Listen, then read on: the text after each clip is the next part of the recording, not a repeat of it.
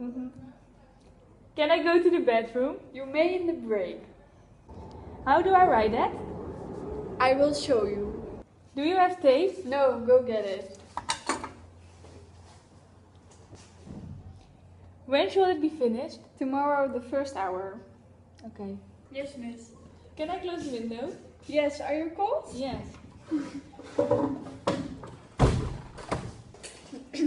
Can I listen to music? No, first do your work. Okay. Yes. Can we leave earlier? If you are quiet, you can earlier. Okay. Do you have a pen for me? Yes, but next time take by yourself. Yes, I do. Can you work together? If you take it easy, Okay.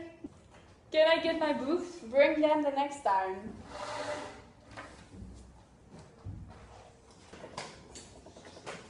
What should we do? Make exercise 1 to 10. Why am I sent out? You're talking toward me. Okay.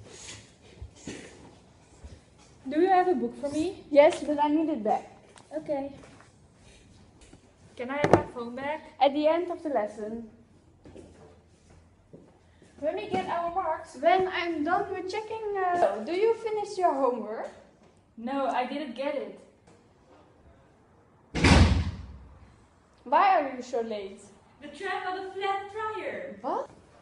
Can you be quiet? Yes, Miss, will.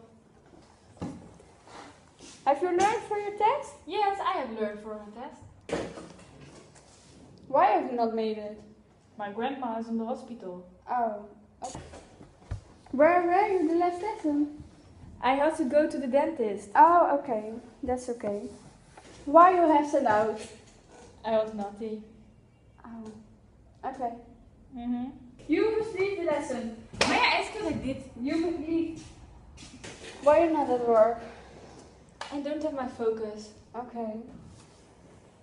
Who did that? Shaggy started. Would you like to pick up some papers for me? Yes. Shall I bring a wool pile? Yes. Will you sit down?